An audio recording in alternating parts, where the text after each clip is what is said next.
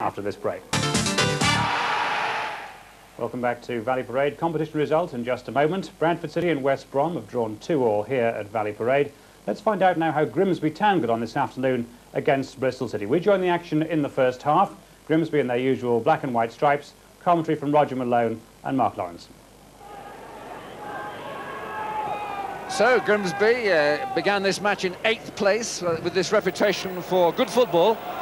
Their best position this season has been sixth, and so they've had a lean spell, but they still see themselves as in with a chance of reaching those playoffs if they can get a good result here. And uh, they nearly had a bit of a chance there, but quite good play there by the City defence, particularly Scott. Reese. Oh, well, uh, Gary Shelton's had the number six over there, Tony Ford, and that's uh, the first booking of the afternoon. Yeah, it's the worst possible place to commit a foul. Here we go. He's got no real chance of getting the ball. Roger look, just takes his legs completely. And Mr. Cooper's only two yards away, and uh, not a very happy start to Sunday for Gary Shelton.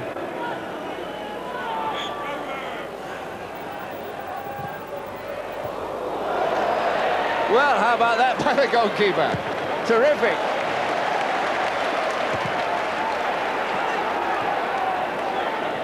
The new rule, of course, you can't catch a pass back with the foot, and didn't Welch get out of that one neatly? How about this, Mark? Well, actually showed great presence of mind, Welch, because, you know, when it comes that high at a goalkeeper, the first thing you want to do is pick it up. But uh, he showed some uh, more ability than we saw on Wednesday from some of the outfield players, didn't he? yes. Right. Scott to Tinnion. Lovely ball for Rosenior. In came Futcher, but he's given it him back. Well, a chance, and a chance again there. And Grimsby fortunate to survive, but they haven't yet. Morgan, Bent will get that. And now Munro's got it. Well, that was a great opportunity there for Bristol City on two or three occasions in that build-up. A good move, Rosenior did so well. But they were unable to get a punitive shot in. Away come Grimsby, Gilbert. And offside there, just Mendonca showing how to slot it in, but just offside. End-to-end -end stuff.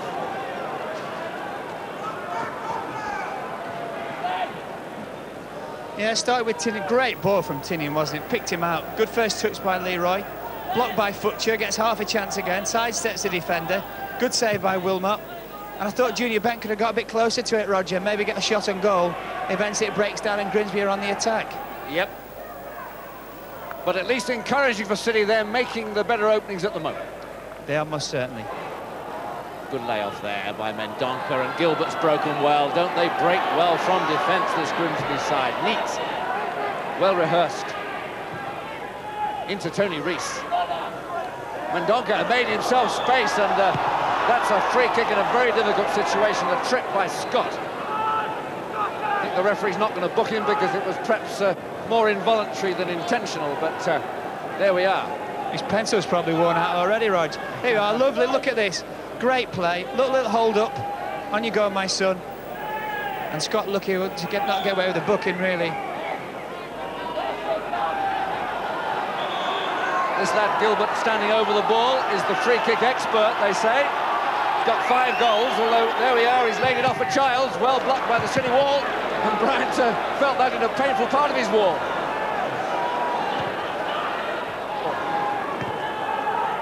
Pennyfather in a bit of space. And Morgan. Chance here for Munro to let rip. Good shot, but good in that he kept it down. Not so good in that it wasn't on target. Yeah, good build-up, nice and patient. You know, if nothing's on, just keep the ball, slowly try and work Grimsby. Eventually, does something does open up. Munro hits his right foot, sadly for City, just wide of the far post. Good build-up though, Roger. Morgan in a nice bit of space here. Rosenior's far post, if he can reach him. He can too! And what a good acrobatic piece of work by Leroy, but it couldn't quite keep it on target.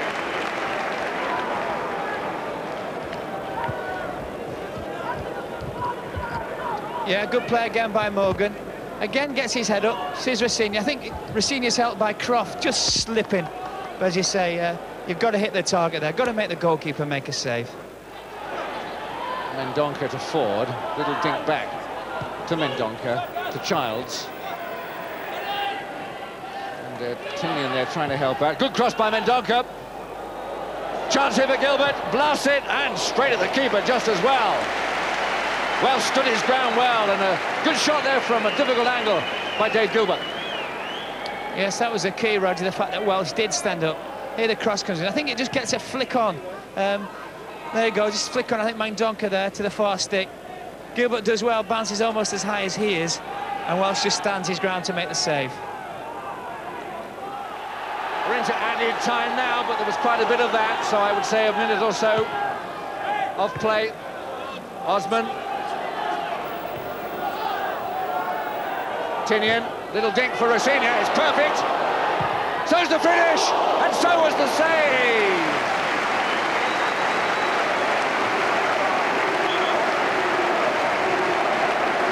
I'm not sure if the keeper was required to touch that, but uh, tackle came in, hurt Rosenior. Great ball here, Roger. Lovely little dink, left foot. Rosenior's bounced up, hit it first time, just over the crossbar. So Tinnion with the throw.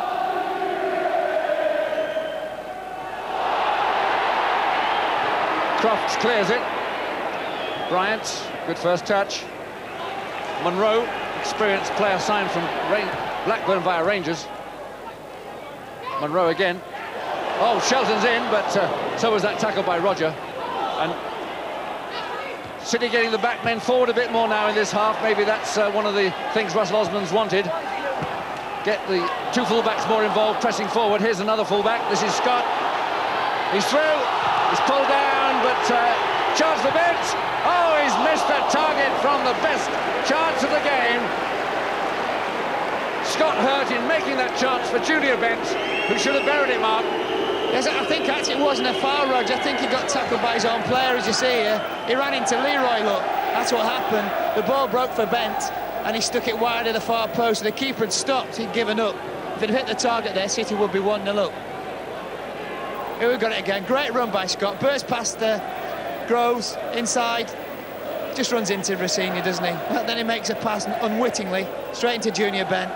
Oh, he's got to hit the target there. City are 1-0 up if he hits the target. And certainly the head of steam building up here by City. It's a lot more promising. Tinnion with the corner kick. Goes Bryant, chance for Rosenior blocked. Rosenior blocked, and once again Grimsby survive. Here's a chance, Tinnion's corner, and it comes. Good header by Bryant into Leroy, and I think it hit Junior Bent Roger. Again came off Leroy, again came off Bent, a bit like a pinball, eventually cleared by Grimsby. Another good chance for City, though.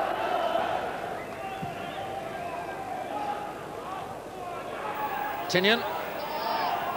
Shelton. Chance for Morgan, goal! Nicky Morgan! At last, City score! A good cross. The pressure told in the end. Bristol City won, Grimsby nil. Yeah, here we go. Great touch by Tinnion. Lovely running by Shelton. Left-footed cross, Roger, when it comes in. Loads of time for Morgan to pick his spot, which he does great. The keeper just unfortunate, nearly got a hand to it. Here we go again. Lovely touch. Good running by Shelton. Here's Morgan, just pulls himself out of the way. In she goes. Only what City deserve, Roger. There he is, Nicky Morgan, an experienced goal scorer, and uh, City glad of that. So, Groves, Rees, Childs, the fullback overlapping. Good organisation, good tackle by Shelton. What a good piece of work there by the City skipper. Up at one end, making a goal one moment, back there, stopping a goal happening at the other. Good football. Big heart, Gary Shelton. So, Grimsby have got a corner kick. Haven't had many of those from them. Gilbert is the man who takes them. They've pushed the uh, big guys up. Roger, particularly the big number five's gone up there, and Groves, tall men who score goals from these pieces. Roger got his foot to it, and there's a shot there, and a shot there by the left fullback Agnew, and finally City survive.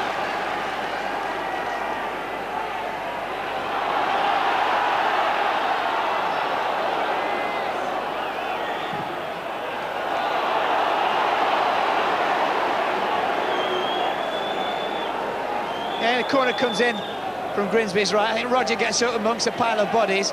And Agnew has a shot, Roger. And that's, it's a great block, this by Welch. Very, very brave.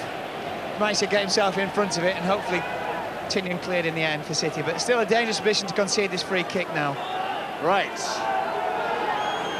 Ford over it. Gilbert will let fly with that left foot. Well blocked by Osman. He got made uh, by Munro rather. Made yards to block that one.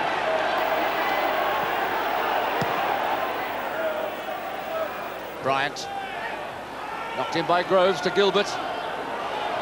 This is where they're dangerous, laying it off and finding a spare man. And Ford with a good shot there, and Welch again well down.